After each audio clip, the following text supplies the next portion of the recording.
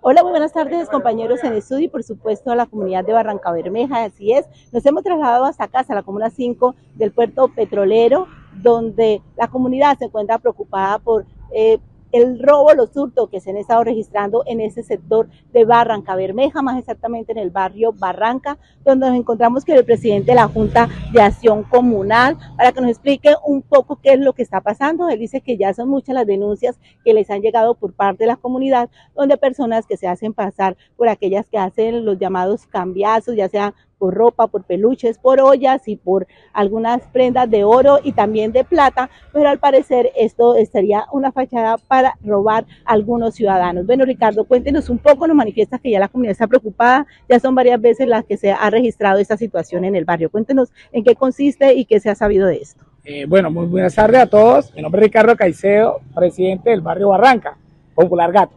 Bueno, les comento de que ya en varias ocasiones habitantes de nuestro barrio me han manifestado por medio de WhatsApp, nosotros manejamos un grupo, sí, pero entonces el que informa somos los dirigentes, ¿cierto? Los líderes de, la Junta de Acción Comunal. Pero ellos en el interno me informan de que han sido víctimas por un llamado cambiazo, que es esa modalidad que se, está usando. el habitante me informa de que el señor llega a la casa, le dice que va a cambiar unos artículos, que si tiene celulares viejos, que tienen anillos, cadenas, cualquier tipo de artículo, él los cambia por electrodomésticos. Eh, en esa ocasión, eh, la persona le comenta que tiene unos anillos de oro y tiene unas pulseras que quiere saber si son de oro. Entonces él le dice, pero tiene algo de oro, oro, oro, para que usted se dé cuenta realmente de que efectivamente es, oro. Entonces él le dice, sí, yo tengo y se va para allá y trae realmente el oro.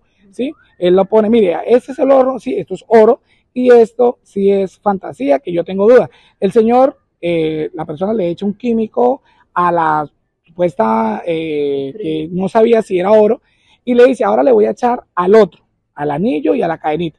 Le echa otra sustancia, empieza a hervirle una cosa así, al señor le dan este, cosas en los ojos y él dice, uy, me arde, hace la cara porque, dale, se va para allá. Cuando viene dice, ve, no era oro, eso que usted tenía no era, no, que como así, que tal, que no, que sí, eso era oro porque era de no hay que, que yo lo estoy empeñando. No era oro, mira amigo, se vaporizó y le entrega, le da como, le, demuestra en el piso como cuando se desintegra algo, desintegrado. Ya le muestra, entonces el man dice, ¿cómo así? No, que es, yo fui engañado, que mire, contarle que el hombre me manifiesta que fue robado, ¿sí? Eh, otro habitante también me informa por medio de celulares que un celular no le servía, no sabía, y se dio cuenta de que el señor supuestamente también se le llevó el celular. A lo último lo engañó, le dijo que sí, que bueno, que eso, y no le apareció.